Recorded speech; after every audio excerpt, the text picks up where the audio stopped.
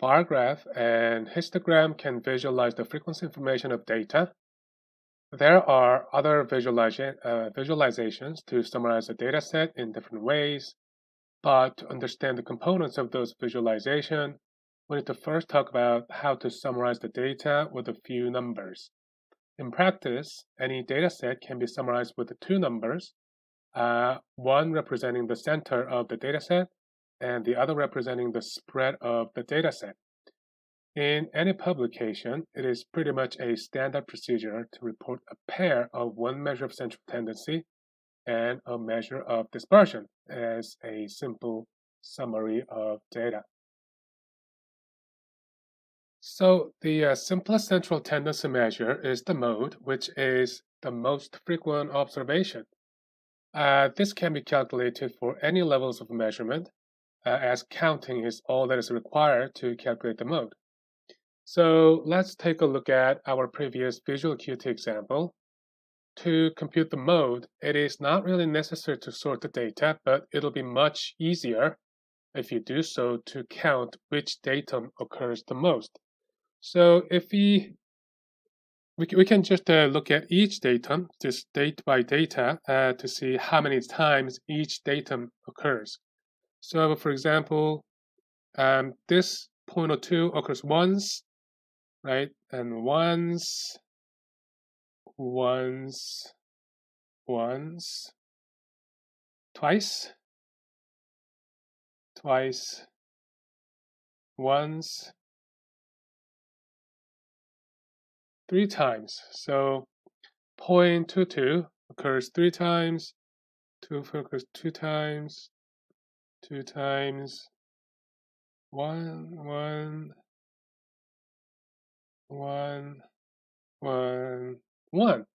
Right, so the mode for this uh, data set, uh, so the most frequent observation is 0.22. So mode is 0.22 logMAR.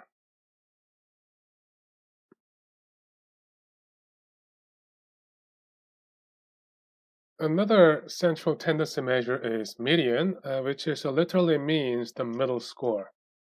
By definition, median is the value that divides the data into two groups containing an equal number of observations. Because you need to be able to rank order between the values to calculate the median, um, you can only calculate this quantity for the ordinal or above levels of measurement and you cannot calculate median for the nominal. So that, what that means is that you cannot calculate the median for the nominal level of data. And by the way, please note that uh, I'm going to use a different data set here than the previous visual acuity one uh, for the uh, illustration purposes. So the data here are the uh, number of Facebook friends your uh, Facebook friends have. So if you do have a Facebook account, then you probably know uh, what this is, right? So if you have an account, then you can go to your Facebook friends pro uh, profile to find out how many Facebook friends each of your Facebook friend has, right? So this is the data um, you know, taken. Is kind of a hypothetical data. Say, you know, this is coming from my own Facebook, and then these are the so. Let's just say that I only have 11 uh, Facebook friends, and these numbers represents how many uh, Facebook friends my Facebook friends have. So to calculate the median, then you need to sort the data first.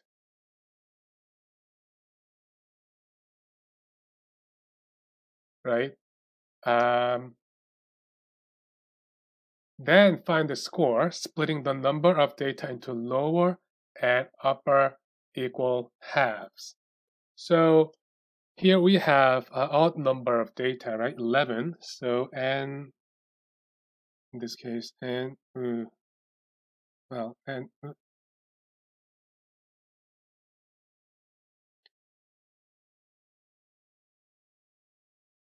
Eleven, right? So you only have to find uh, the middle number, and so the middle number here is 98, right? That's because from 98, above and below, you have 5 and 5, right? So we have exactly the same number of data, 5 and 5, above and below this value of 98, right? So in this case, the median, so I will say this is a median 1 is, so this is our median value, 98, right? So now you think, you know, that the, the one of your friend is a kind of oddball, um, as that person seems to have an unrealistic number of friends.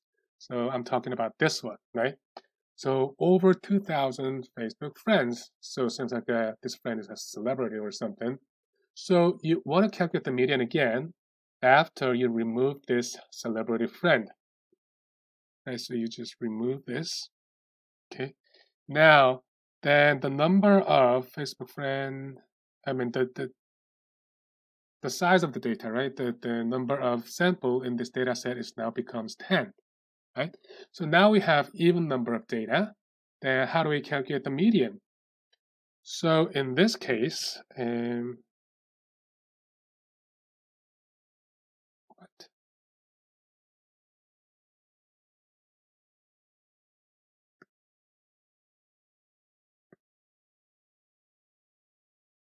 right. Um,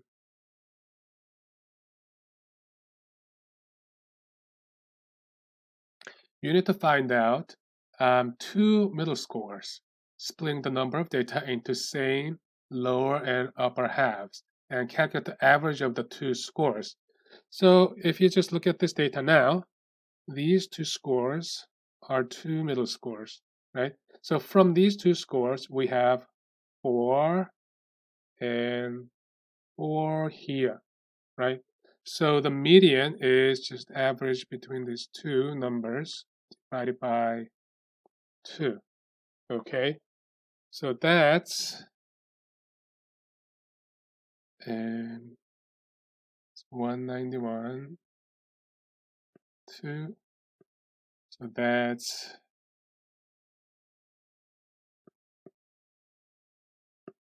Ninety-five point five. So that is our median number two. So that's just a median without this extreme score, right? But if you compare this value, 95.5 and 98, so regardless of the extreme value uh, or the outlier in a data set, um, the median doesn't really change much, right? So in fact, this is one of the properties of a median that you know, this central tendency measure is relatively unaffected by the extreme values or outliers at either end of the data.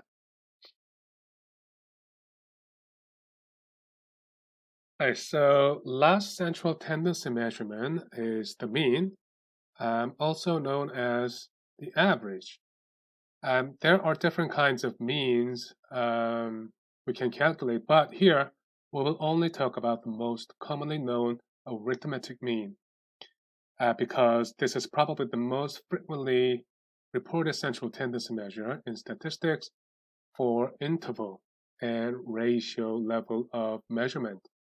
Um, I'm pretty sure that you know you all know how to calculate the mean, but here we have a formula to calculate a sample mean. So here the x bar, so that's how you read it. x bar is a sample mean.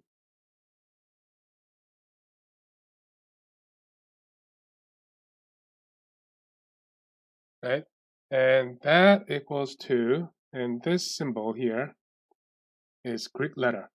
It's a it's kind of a same as it's similar to the capital S, and this is read sigma, sig Right, and in mathematics, uh, mathematics and statistics, this symbol sigma means adding or summing what's coming on the right, right? So whatever comes on the right of this symbol means add all the numbers on the right. So I here is an index of data. So add the data from the first data to the n, which is the last member of the data. So add from the first data to the end. That's what it means. All these are subscript and superscript, right? So that has to do with the data index here. So from i equals 1 to n. So here, if we look at this data, right, up here, this number of Facebook friends. So we have the first data i 1, 2, 3, 4, 5, 6, 7, 8, 9, 10, 11. So we have uh, 11 data. So you add the first data, which is 57, to the last n equals 11, which is 22. So you add them all up to calculate the simple mean. Plus, plus, plus, plus. Right, so you add all these up. And then what do you do? And to calculate the, erase this.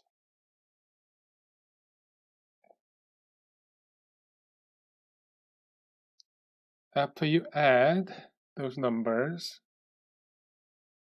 now you divide this by the number of score, which is 11, right? Then you're going to get the sample mean. So the sum, right, so the sum of all data equals actually 3051.